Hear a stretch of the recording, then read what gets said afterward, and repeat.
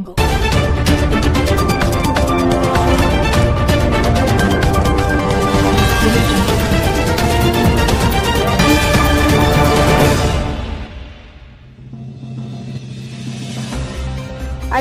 दिन गाइसलेट ब्लक र फिरिङीमा ग्राम पञ्चायत र बाबुबान ओ नरपरठाले मास्क साबुन सबुन बं्टा